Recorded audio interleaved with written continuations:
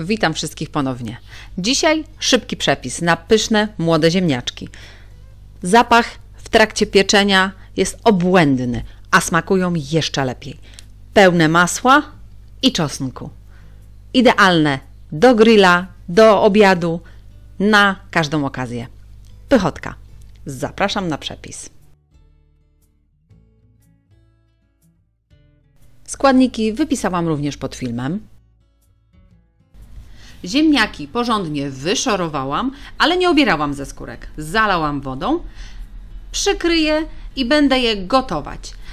Od momentu zagotowania się wody pogotuję je około 7-10 minut i odcedzę.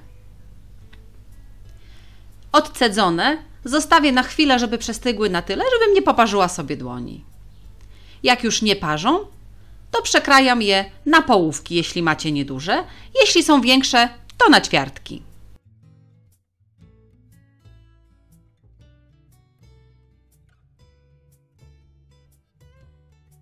Przygotowałam sobie masło, roztopiłam je.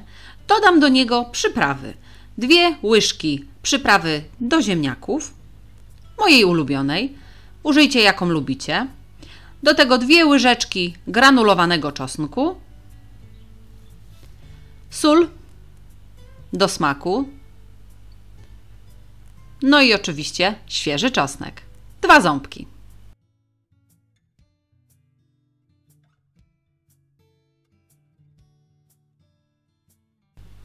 Taką mieszanką polewamy nasze ziemniaki i mieszamy dokładnie.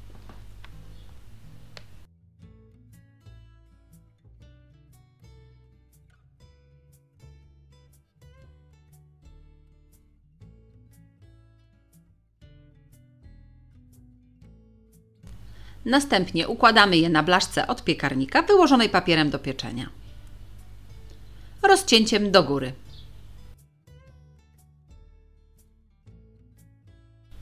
Tym, co zostało w misce, polewam jeszcze po wierzchu ziemniaki.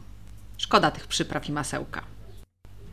Następnie wstawiam moje ziemniaki do piekarnika rozgrzanego do 180 stopni z termoobiegiem i będę piekła aż się pięknie zrumienią i będą mięciutkie około 30-35 minut.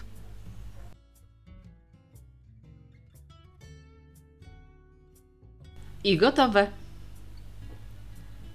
Możecie jeszcze je posypać świeżym, posiekanym koperkiem lub szczypiorkiem. Co lubicie i co wolicie. Będą smakowały idealnie z jogurtowym sosem lub z mięsem pieczonym do obiadu. Jeśli podobał się Wam mój przepis, spróbujcie zrobić takie w domu. Koniecznie piszcie w komentarzach, czy Wam smakowało.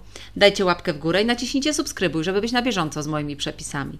Po więcej pomysłów zapraszam również na moją stronę swojskiejedzonko.com oraz na moje playlisty na YouTube. Do usłyszenia!